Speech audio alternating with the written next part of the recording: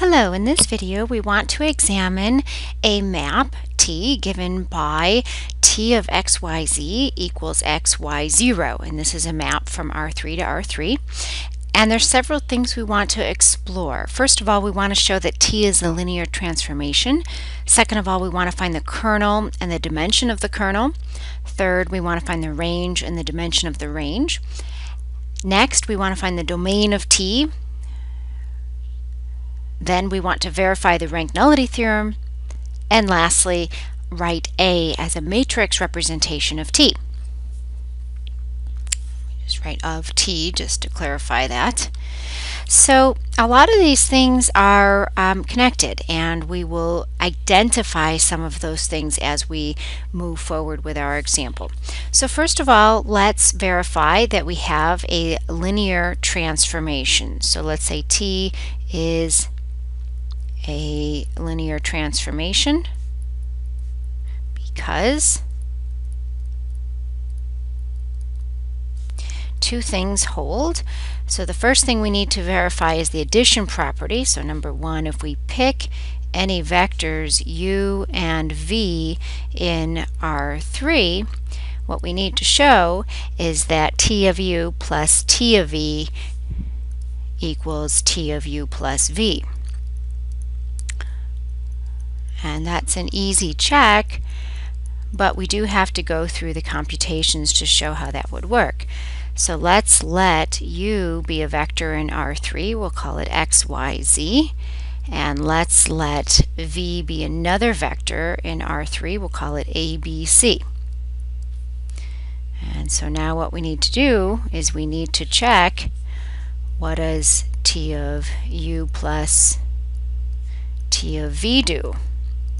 And what that does, well, t of u just sends that vector to x, y, 0, and t of v sends that vector to a, b, 0. And if we add those up, that's x plus a, that's a y plus b and 0, and that's exactly equal to t of u plus v.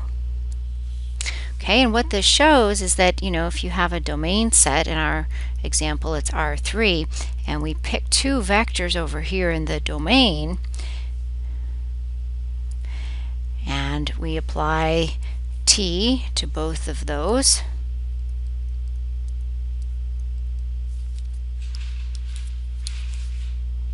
we get t of u and t of v, and we add them up, and we get t of u plus t of v, and that lives over here in R3, lives over here in our, in our range. Now, what we've shown via our calculations is that we could have first added them up, adding the u plus v over here and t'ing that, and that turns out to be exactly the same thing. So that's really what we're checking when we check this property of addition for linear transformations. The second thing we need to check is that for any scalar, we'll call it k in the real numbers, and any vector u in the real R3, we need to check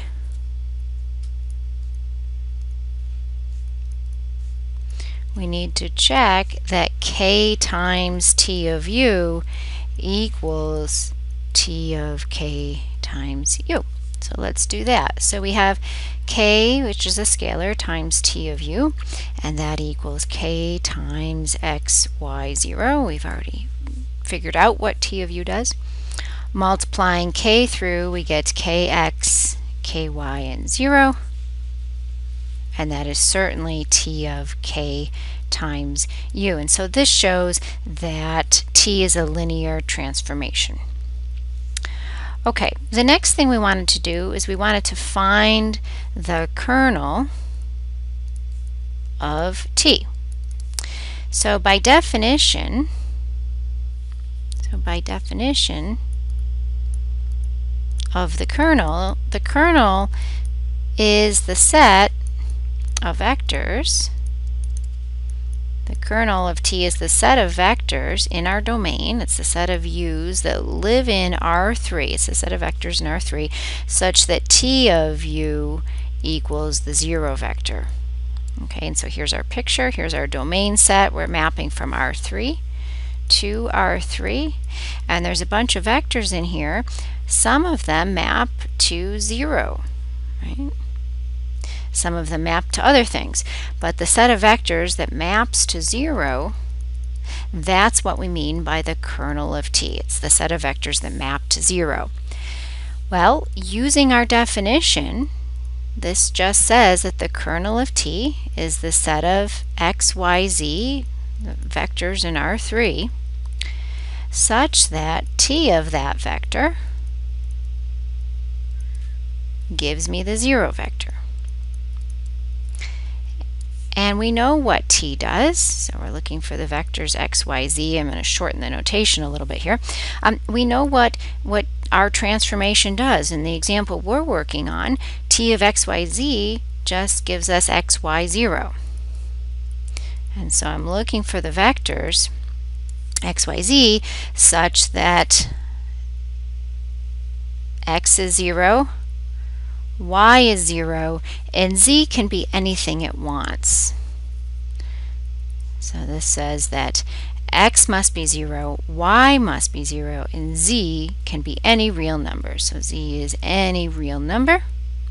And this just turns out to be the z-axis. It's a dimension 1 subspace of R3. So here's a picture. There's our x, y, and z coordinate system. And what our map does, you know, suppose we have some sort of elliptic paraboloid or something like that, right? What our map T does is it takes any point and just drops it down, it projects it down to the corresponding xy point with a zero in the z. And so if we drop all those points down, we project them onto the xy plane, what this gives us is it gives us, just using our elliptic paraboloid as an example, it gives us a projection onto the xy plane. And again, this is the xy plane in R3. And so the things that map to zero, right? The kernel is the set of vectors that map to the zero vector. Any of these points, anything on the z axis there, that's going to drop right down onto that origin. It's going to map to the zero vector. So that's why our kernel is just the z-axis, it's a dimension 1 space. Let's look at the range. So the range of t, we've already explored that, the set of outputs we get, so by definition the range of t, it's the set of vectors of the form t of u where u came from your domain set, which for us is R3. So in our picture, here's our domain, here's our codomain, and you've got vectors shooting over to the codomain. So let's label these. But you know, it's not necessarily the case that you get every vector in the codomain. So the set of vectors that you do get, your actual output there is what we call the range of T. So this is a nice example up above where we did this projection uh, transformation. We projected things onto the xy plane. We Our output wasn't all of R3. Our output was just the xy plane. So the range of t for our example turned out to be the set of vectors of the form x, y, 0 where we had input values coming from R3 and we discovered that this is just the x, y plane in R3 and that's a 2D two-dimensional subspace of R3. Okay, so we've answered a lot of the questions we set out to do, but let's go back to our original list and see where we're at here. So we have so far shown that T is a linear transformation. We found the kernel and the dimension. We found the range and the dimension. The domain of T is just R3 and we've highlighted that before. The, the domain is just the first set we start with there. It's our input values. And lastly, we want to verify this rank nullity theorem and write A as a matrix representation. Okay. So let's verify the rank nullity theorem for this example. So what we found so far is we found that the dimension of the kernel, and another name for dimension of the kernel, um, that is nullity. The dimension of the kernel and nullity are synonymous. Those are the same thing. So dimension of the kernel we said was 1. That was our uh, z-axis. So the kernel of T was the z-axis. It was a dimension 1 subspace. We also said that the dimension of the range of T is 2. Now, another word for dimension of the range, that turns out to be rank. And the reason that dimension of the range was 2, that's because our range of T was the xy plane in R3. And we've also mentioned that the dimension of the domain of T was 3, and that's because our domain set was equal to R3. Now, the rank nullity theorem says that the dimension of the domain equals the rank plus the nullity.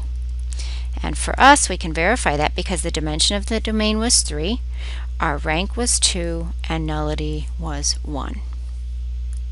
Lastly, let's write a matrix representation of T.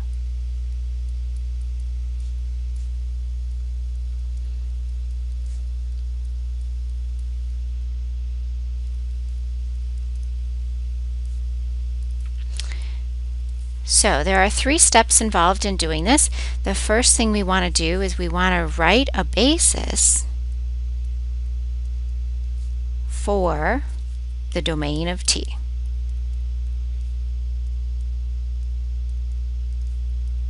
And so a basis for our domain, which is R3, a basis for R3 would just be 1, 0, 0, 0, 1, 0, and 0, 0, 1. These are our standard i hat, j hat, k hat sorts of vectors. The second step is we want to apply the transformation t to the basis elements. And I'll remind you what t does. t takes in a vector of the form x, y, z and it spits out a vector of the form x, y, 0. So it literally copy pastes the first two components. The third component becomes a 0, and that's what drops us down onto the xy plane. So let's do that. If we apply the transformation t to the vector 1, 0, 0, that means x is 1, y is 0, and z is 0, and so in goes a 1, 0, 0, and out comes a 1, 0, 0. Next, let's apply transformation to 0, 1, 0. And out comes a 0, 1, 0 because in this case, we're putting in 0 for x, 1 for y, and 0 for z. And lastly, let's apply the transformation to our last basis element here, which is a 0, 0, 1. Out comes a 0, 0, 0. Because again, remember that our transformation takes that z coordinate and puts it down on the xy plane, puts it down as z equals 0. The third step is that matrix A consists of column vectors obtained in step 2. So here we go with matrix A. Matrix A looks like the first column is going to be this 1, 0, 0, second column 0, 1, 0, and the third column is a 0, 0, 0. Notice some very important connections between A and the transformation. So the rank of A, we have two leading ones, and that is exactly the dimension of the range of T because those are the same thing.